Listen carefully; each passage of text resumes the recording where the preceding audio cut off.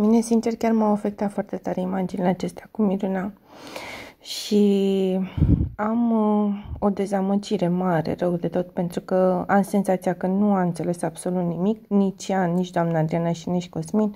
Erau extrem de evaziv așa, da, s-a întâmplat, uh, sigur nu și-a propus să intre în comă alcoolică sau uh, lucruri de genul făcute doar pentru spectatori. Cred că se gândeau ca nu cumva să-și piardă voturile. Dar uh, nu despre asta este vorba. Este vorba că îmi vine să și plâng, bă.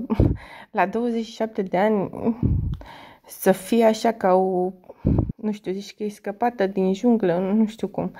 Și să nu... Doamne ferește, dar chiar putea să se întâmple o tragedie. Și nu e normal așa ceva. Nu este normal uh, să nu spese de nimic în viața asta și să nu ai nicio, să fii atât de libertină. Măcar de-ar fi învățat ceva din toată treaba asta, dar nu.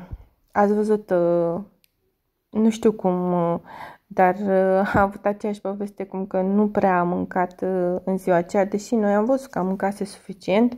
Auzi cât a avut alcoolemie, da? N-ai cum în viața asta să ai o alcoolemie atât de mare de la 4-5 șaturi. E ca și cum ai fi băut cel puțin o sticlă de vodcă simplă, așa, nu știu cum. În fine, sper că măcar dumneavoastră cei de acasă, ă, copiii ăștia de să uită la astfel de emisiuni, să învățați ă, ceva din treaba asta și să realizați că nu este de joacă. Chiar nu este de joacă, nici cu alcoolul, nici cu viața în sine până la urmă. Cred că toți cei care sunteți în jurul Mirunei ar trebui să mulțumiți producției și acestei emisiuni pentru că uh, a ținut foarte mult la imaginea Mirunei și nu că în mod normal, vă dați seama, putea să facă o știre de presă și să-și facă imaginea praf.